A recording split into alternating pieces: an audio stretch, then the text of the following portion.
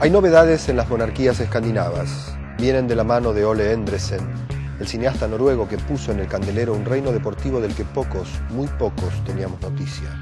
El reino del curling. El curling es un deporte de alta precisión que viene del frío, una versión sofisticada del juego de bochas que consiste en hacer deslizar unas piedras esféricas de 20 kilos sobre una pista de hielo para acercarlas lo máximo posible, sin rozar a las demás, a una diana pintada al final de la pista.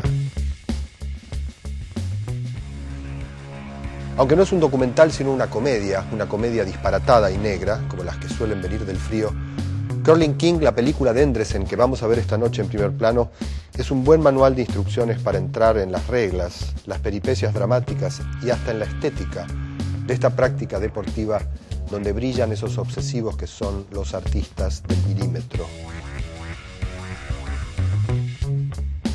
Eso era en los años 90 en Noruega el equipo de los Paulsen, los reyes del curling, tan autistas y extravagantes como los amos del bowling del gran Lebowski, la película de los hermanos Cohen con la que Endresen no deja de dialogar. Los Paulsen reinan sobre la disciplina hasta que una catástrofe se abate sobre ellos. Truls, la estrella del equipo, una especie de Messi del curling, apasionado e infalible, se deja llevar por su obsesión colapsa en medio de un partido y pasa 10 largos años guardado en una clínica psiquiátrica, adormecido por los psicofármacos.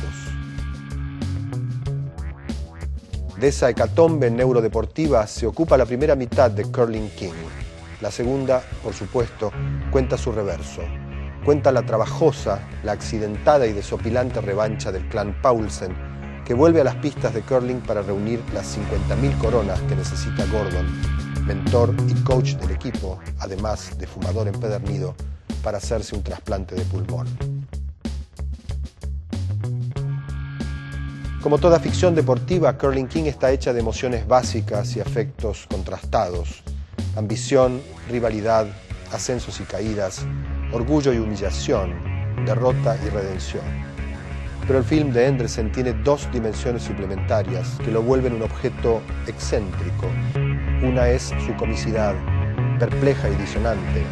La otra es su dirección de arte, tan minuciosa y maniática como el curling mismo, que convierte el mal gusto en una sensibilidad, una forma de vida o quizá de demencia.